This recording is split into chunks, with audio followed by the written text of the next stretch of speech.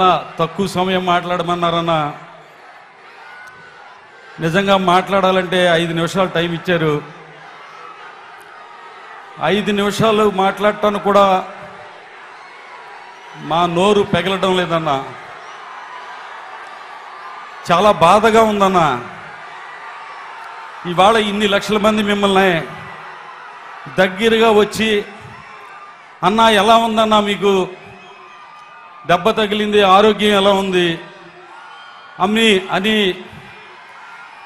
మీ శ్రేయభిలాషులుగా వాళ్ళందరూ కూడా మీ శ్రేయస్సు కోరి ప్రతి ఒక్కళ్ళు కూడా మిమ్మల్ని చేపట్టుకుని పలకరించాలనే ఆప్యాయత అభిమానాలతో వచ్చిన లక్షలాది మంది జనమన్నా అన్న నీ అభిమానులు అన్నా వాళ్ళందరూ. ఒక్క అవకాశం ఇయ్యన్నా వాళ్ళందరూ కూడా వచ్చి నీ యోగక్షేమాల కోసం కనుక్కోవడానికి వచ్చిన ఈ అశేష జనం నీ చేయి పట్టుకుని వదలరన్నా. నిజంగా చాలా బాధగా ఉందన్నా. రాజకీయాలు ఇంత దిగజారిపోతాయా అని. అన్నా రాయితో దాడి చేసి నీకు గాయమైతే రాష్ట్రంలో ప్రజానీకం అంతా కూడా నీ మీదే ఆశలు పెట్టుకున్న బడుగు బలహీన వర్గాల వారు అక్క చెల్లెమ్మలు రైతన్నలు భావి భారత పౌరులు అనేక మంది పేదరికంలో ఉన్న ప్రతి ఒక్కరూ కూడా నీ మీద ఆశలు పెట్టుకున్నవారు. అరే నీ కంటికి తగిలుంటే కన్ను పోను కదా. అరే కొద్దిగా నవరగంత మీద తగిలుంటే ఇంకా పెద్ద ప్రమాదం జరుగును కదా అని ఎంతోమంది ఆవేదనతో ఆ భగవంతుడి దయ వల్ల మా జగనన్నకి ఏమీ జరగలేదు అని సంతోషిస్తుంటే దుర్మార్గులు దుష్టులు.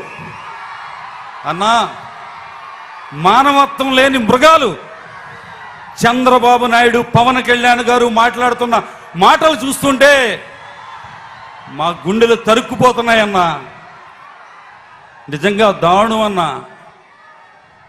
వాళ్ళకి మంచి బుద్ధి పుట్టించమని ఆ భగవంతుణ్ణి కోరుకుంటున్నానన్నా ఇన్ని లక్షల మంది సాక్షిగా. మంచి మనసు అన్నదే లేదన్న వాళ్ళకి. నిజంగా అన్నా నీ మీద ఎందుకన్నా ఇంత ద్వేషం? ఎందుకన్నా నీ మీద అంత కక్ష? అన్న అవ్వా తాతలకి అరవై ఐదు సంవత్సరాలు వస్తేనే కానీ పెన్షన్ రాని వాళ్ళకి అరవై సంవత్సరాల వాళ్ళకే మరి మూడు వేలు పెన్షన్ వాలంటీర్ల ద్వారా తెల్లవారు గట్ల ఐదు గంటలకే వాళ్ళందరికీ అందిస్తున్నందుకన్నా భావి భారత పౌరులు మన పిల్లలు బాగా చదువుకోవాలి వాళ్ళకి విద్యను సంపదగా అందించాలి ఆ కుటుంబాలు పేదరికం నుంచి పైకి రావాలని ఆలోచన చేస్తున్నందుకు అన్నా నీ మీద అంత కక్ష.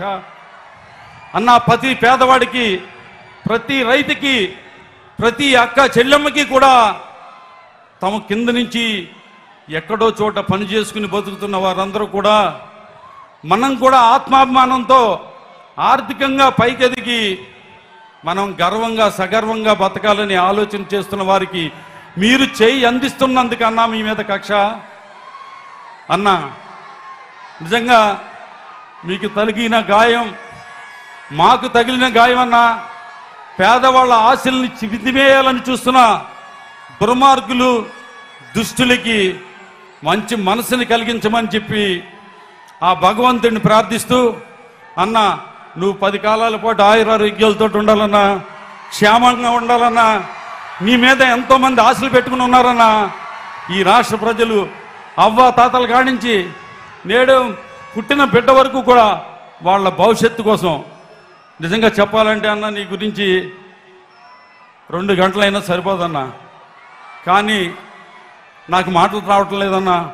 మీరు పది కాలాల పాటు ఆయుర ఆరోగ్యాలతో సంతోషంగా ఉండి ఈ రాష్ట్ర పేదల యొక్క పక్షాన నిలబడి వారిని పేదరికం నుంచి పైకి తీసుకొచ్చి వాళ్ళ సగర్వంగా ఆత్మాభిమానంతో తల ఎత్తుకుని తిరిగేలాగా మీరు చెయ్యాలని కోరుకుంటూ ఆ భగవంతుడిని అన్న ఈ లక్షలాది మంది ఆశీర్వాదం మీకుంటుందని తెలియజేసుకుంటూ సెలవు తీసుకుంటున్నాను అన్న